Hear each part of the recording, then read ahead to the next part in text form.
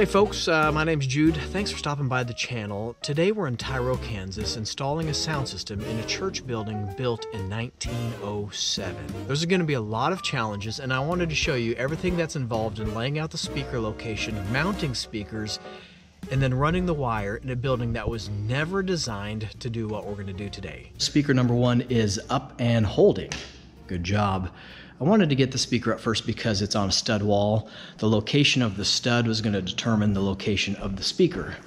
Now this side is on concrete block or stucco or brick. I don't quite know what's behind there yet, but I knew that I had a pretty open canvas to work with on this side. And something else that we need to try to figure out is how are we going to get the wire? I hate exposed wires. I hate wire mold.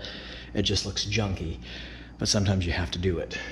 I'm hoping to be able to take a long masonry bit and drill at an angle by the speaker bracket, drill at an angle, come out through this side of the wall, maybe back behind this piece of molding. Trim is good for pulling off and running cables behind if you have to.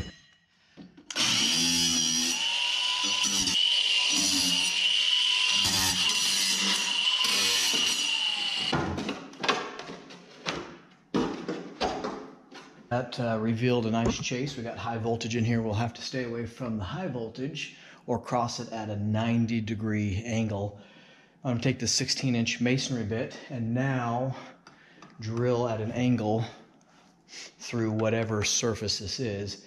And I should be able to poke out inside this chase up top. Now, when we use masonry uh, drill bits, we wanna make sure that we hold away from any outside corners because this could fracture real easy and just blow off the whole side. I'm gonna lay out the marks on the wall, do a couple test holes to sample what the material is behind the paint, and then prep to drill that uh, 3 8 hole 16 inches into that chase. This is a 3 16 bit. I'm just going to do a sample hole.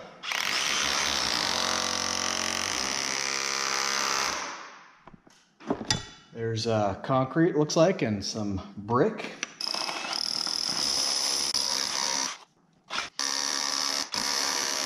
We're real close. There she is right there. Perfect. Okay. Now we can hide the wire.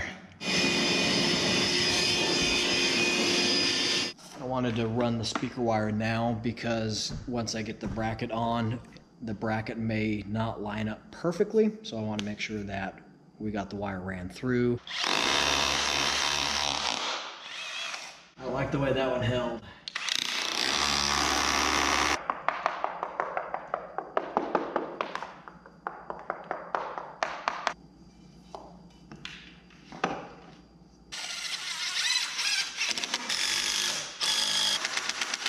Because I'm uncertain on what I'm screwing into, that impact driver can strip out the concrete real quick. So I'm gonna finish it off with a nut driver just to kind of feel what I'm grabbing onto.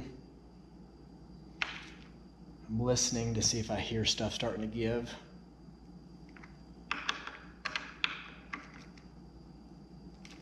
I'm always so afraid I'm gonna drop these speakers whenever we hang them.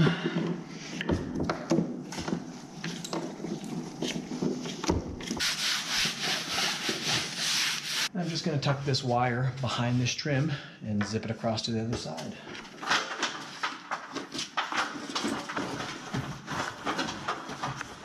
These little trim wonder bars or pry bars are awesome for working around molding, pulling it back, dropping the wire in place.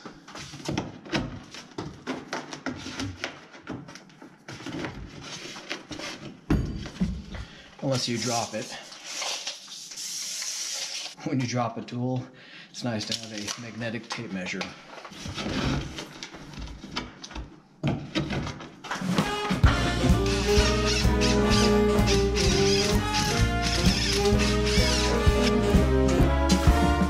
There it is right there.